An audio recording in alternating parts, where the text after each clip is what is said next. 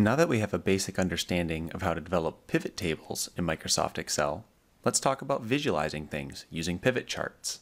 Pivot charts are simply just pivot tables, but visualized. But they are more than a mere chart. In other words, the types of charts that you may have built using Microsoft Excel before uh, don't have some of the more advanced customization, exploration, and dynamic adjustment features that pivot charts have available to them. With that said, Pivot charts are very powerful tools, but just because you can do something making it in a pivot chart doesn't mean you should. One of the lessons that we're going to get from this brief tutorial is that pivot charts can be dangerous tools when they're used in the wrong hands without proper consideration. In other words, let's make sure that we know what we're intending to do rather than just accepting that the pivot chart is magically working. So let's lay out our pivot chart game plan for this video. We're going to work from the same pivot table that we already built in a previous video tutorial, where we had measures about people's attendance to craft beer tasting, and we had their opinions related to whether or not they liked very hoppy beers. We're going to start from this completed pivot table in this tutorial. With the table selected, we'll merely switch over and activate the pivot chart feature. And since all of the comparisons that we want to do are is comparing percentages across the different groups. A stacked column chart where each of the groups, in our case the groups being tasting room behavior, will be an excellent choice. So we select that option available from the menu. Okay, so we have our pivot table that we built from a previous video tutorial. Now we simply want to convert this into a pivot chart. So just select it anywhere in our pivot table, switch to Analyze, Pivot Chart, and we're going to want to build a column chart here, and we want to build a stacked column chart. And there we go.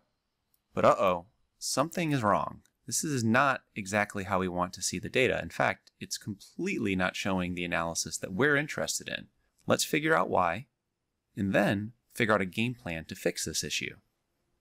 Now by default, this is not what we wanted.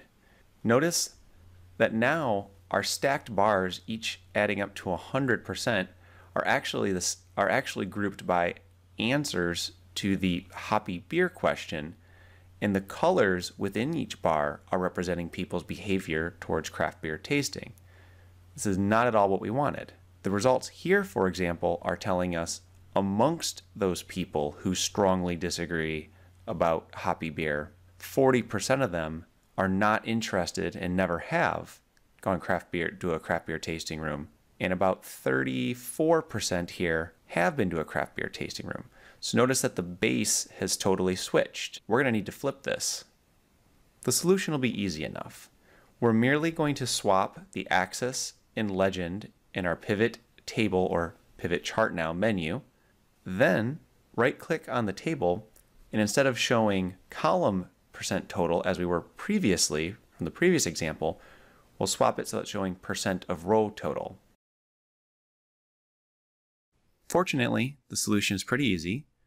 We just swap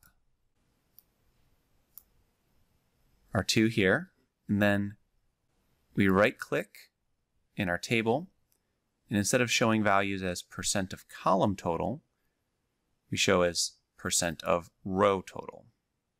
Oh, and unlike I showed in the previous slides, I accidentally left the 999, meaning the people who didn't respond to this question of in terms of whether or not they had engaged in craft beer tasting. But that's easy enough to fix. Simply just go to the row labels now and deselect that option. There we go. We're right back on track. Now this is actually showing the analysis we want, but we're going to want to clean this thing up. So it's correct, but maybe not quite as beautiful as we'd like it to be for presentation. This version of the chart is what we're going to be aiming for in our final formation. Notice some key important differences. First, we decided to depict the percentages, but only for selected components of each one of the bars. Since our analysis is focused on who does agree that they like hoppy beers, we, cho we chose to only show the percentages for those who agree or strongly agree for each of the three groups. In addition, we're using color, the color green in different shades, contrasted against gray, to draw our viewers' attention to the particular type of response that we're most interested in for this analysis. In addition, we also sorted the answers in a slightly more productive way. We swapped the I don't know answers from the top of the bars and all the way to the bottom so the viewer can always default to their most easy way of analyzing types of bar charts where high is good, if you will. We also added a title and we hid the menu bars that we had in the original. They're no longer visible here, which makes them appropriate to include in a report or a presentation. From here, let's talk about how we're going to improve this data visualization so that not only is it right, but it's appropriate for presentation to an audience. To clean this up, it's going to take a lot of different formatting. What I'm going to do is I'm going to accelerate the video and have notes along the bottom that note how I'm doing these different tasks when while I'm highlighting those issues. If you're having difficulty, just pause and follow along and follow the steps as we do.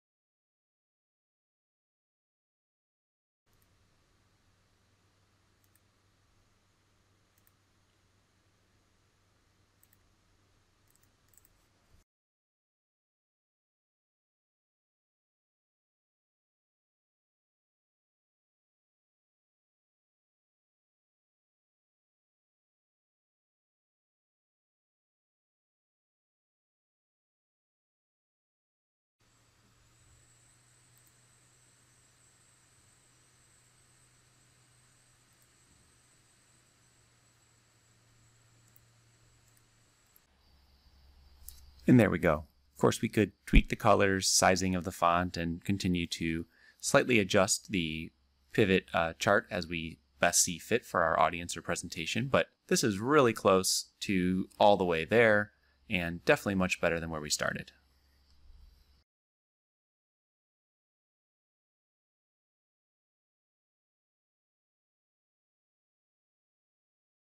Basic written reporting of this type of pivot chart might look something like the following. As seen in figure blank, respondents who had attended a craft beer tasting were more likely to say they preferred really hoppy beers, a two box score of 44.58%. It is notable that those who had yet to attend a craft beer tasting but expressed interest in doing so were also a bit more likely to prefer really hoppy beers, two box score of 21.85%. Although not shown in figure blank, it should be noted that most survey respondents had not actually attended a craft beer tasting.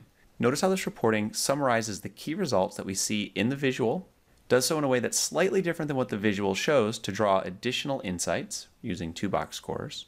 In addition, it uses this final sentence in a very important way. One of the things missing from this stacked bar chart is it doesn't show us what percent of individuals belong to each of these three categories it's probably important to notice that 64% of all the respondents had not gone to craft beer tasting, belonging to either this bar or that bar. Clearly, a craft beer marketer would want to know that those people who have been craft beer tasting only represent slightly over one third of the entire data set.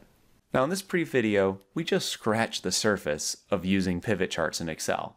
Pivot charts and pivot tables are extremely powerful, but they're not your only option. Almost any chart that you might want to make using a pivot table in Excel could also be made just using the regular chart tools in Excel. Most cases, you just have to first calculate the summary statistics you want to report yourself by hand, then build the table or chart using the more standard chart building tools. Uh, pivot tables have an enormous amount of functionality, far beyond any one brief introduction. The best way to get up to speed and gain some skill with pivot tables and charts is simply to play walk through some additional guided tutorials that you might find on YouTube or find on websites, and then just start playing. What happens if you switch a setting? For Excel spreadsheets where you know you're not reporting it to a business client, you're not going to hurt anything by breaking something. Go ahead and toggle some menus, right click, adjust, see what happens. Finally, don't hesitate to Google with purpose.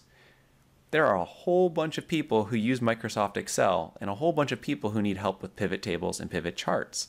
So, exact Google phrases such as Excel pivot table reporting the average value of multiple variables.